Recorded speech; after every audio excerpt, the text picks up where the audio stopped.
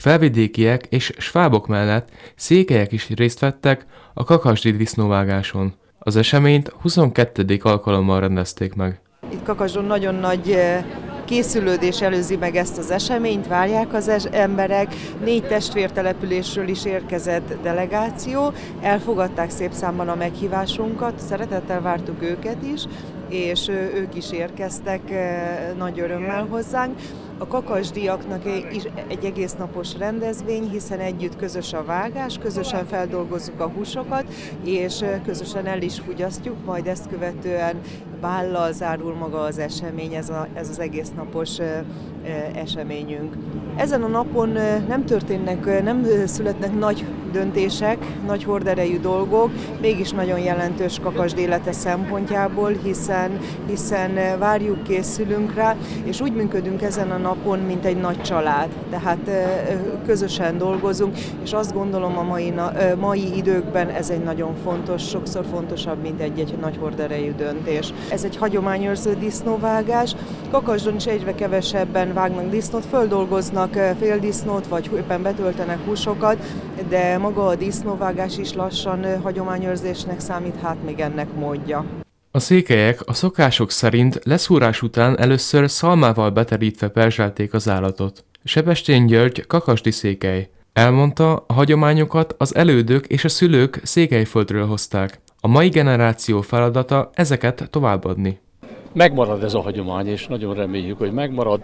Nekünk ezek a disznóvágások egy kicsit több, mint a disznóvágás. Ez lehetőséget is alapot ad arra, hogy a testvértelepülési kapcsolatokat ápoljon ö, Kakast község is, úgy, mint más települések. Így jelesül Székelyföldről két településsel van testvérkapcsolatunk. A kötődés szeretném kiemelni, hogy nagyon erős a kötődés. Nagyon erős a kötődés, ugyanis ennek mi az alapja? Az ottani megszokott életvitel évszázadokon keresztül, és a, a, az összetartozás. Ezt a szüleim elhozták ide is, és eh, ahonnan eljöttek a szüleim, ez Bukovina és Andrásfalva. Eh, Oda érdekes módon eh, tisztelettel beszéltek róla, vissza-vissza vágyunk és vágytak, de visszaköltözni eh, nem akarnak. Tehát az a, az, a, az a választott hazájuk, vagy a kényszerből eh, 180 év körüli időszak, amit ott éltek egy eh, eh, kisebb magyar közösségbe, eh, annak eh, kialakult egy eh, hogy sajátos kultúrára, olyan szempontból sajátos kultúrája, hogy eh, kicsit konzerválódott a Csiki-medencéből eh, magukkal vitt eh, magyar székely kultúra. A székely disznóvágási szokások a töltelék készítésében is mások. A más a fűszerezése. Készítünk hagyományszerű, enne azt mondja, hogy kolbászt is, illetve szalámit. A szalámi készítés, azt mikor a szüleim eh, ide kerültek, akkor csak borsóval fűszereztek, paprikát nem ismerték. És ugye ez még mindig ö, ö, megvan. Maga pedig a, hogy is mondjam, a disznóvágáskor, de hát ezt az asszonyok jobban tudják. Maga az alkalomhoz készített levesétel, az az ória, az az ória, az, aki nem tudja, az talán azzal tudnám érzékeltetni, hogy ilyen olyan savankás, savanyú, savanyú leves, ami a disznónak bizonyos részéből készül, de mondom, én ne, nem vagyok nem vagyok én otthon a háziasszony, de hát én erről egész tudom. Kakasd székely testvértelepülései Csíkfalva és Maroskeresztúr, azon belül is Székely Kakasd. Bota Dániel is erről a külhoni településről érkezett. Székelykakasdról jöttem.